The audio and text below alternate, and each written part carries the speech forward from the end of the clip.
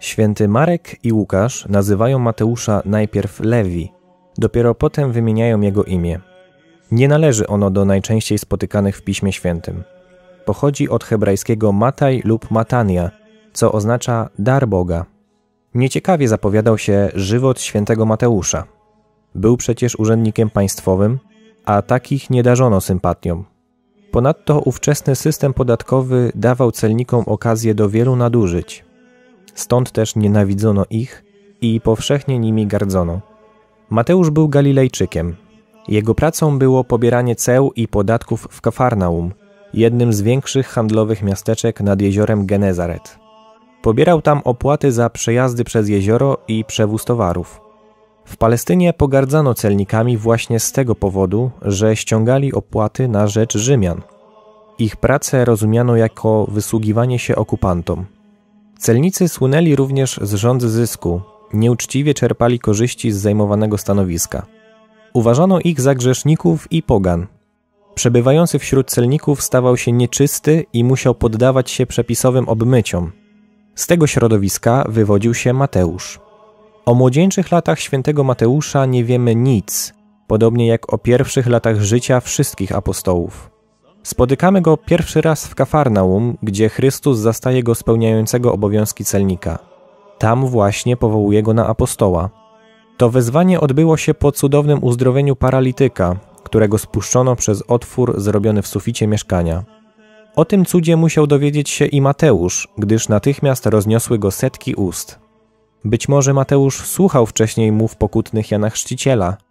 Na wezwanie Chrystusa zostawił wszystko i poszedł za nim. Nawrócony zaprosił do swego domu Jezusa, jego uczniów i swoich przyjaciół, celników i współpracowników. W czasie uczty faryzeusze zarzucili Chrystusowi, że nie przestrzega prawa. Ten jednak wstawił się za swoimi współbiesiadnikami. Odtąd Mateusz pozostał już w gronie dwunastu apostołów. Po wniebowstąpieniu Chrystusa Mateusz przez jakiś czas pozostał w Palestynie. Apostołował wśród nawróconych z judaizmu. Dla nich też przeznaczył napisaną przez siebie księgę Ewangelii. Napisał ją między 50 a 60 rokiem, najprawdopodobniej około 55 roku. Starał się z niej wykazać, że to właśnie Chrystus jest wyczekiwanym od dawna Mesjaszem, że na nim potwierdziły się proroctwa i zapowiedzi Starego Testamentu. Najstarsza tradycja kościelna za autora pierwszej Ewangelii uważała zawsze Mateusza. Mateusz przekazał wiele szczegółów z życia i nauki Jezusa, których nie znajdziemy w innych Ewangeliach, na przykład rozbudowany tekst kazania na górze, przypowieść o konkolu, o ukrytym skarbie, o drogocennej perle, o dziesięciu pannach. On jeden podał wydarzenie o pokłonie magów i rzezi niewiniątek, o ucieczce do Egiptu, a także wizję sądu ostatecznego. Mateusz udał się później między pogan. Ojcowie kościoła nie są zgodni dokąd. Wyliczają Etiopię, Pont, Persję, Syrię i Macedonię. Najbardziej prawdopodobna jest jednak Etiopia. Relikwie Mateusza miały być przewiezione ze wschodu do Paestum, Pasidonii w Italii. Jego ciało przewieziono do Italii w X wieku, znajduje się ono obecnie w Salerno, w Dolnym Kościele, wspaniale ozdobionym marmurami i mozaikami. Miejsce to nie stało się jednak powszechnie znanym sanktuarium. Mateusza przedstawia się jako postać ludzką, gdyż Ewangelię rozpoczyna od rodowodu ziemskich przodków Pana Jezusa, by wykazać, że Mesjasz naprawdę był potomkiem Abrahama i pochodził z domu Dawida. Czasem apostołowi daje się również do ręki miecz, gdyż według podania miał ponieść śmierć od miecza.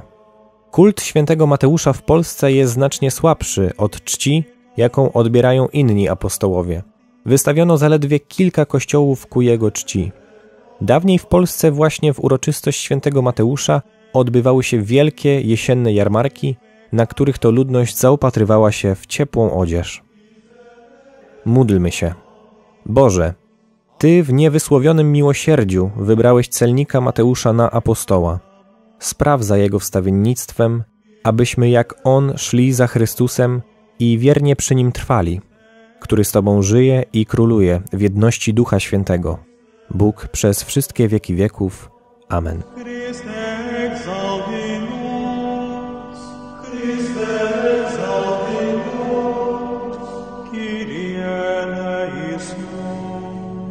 Christe, Kyrie.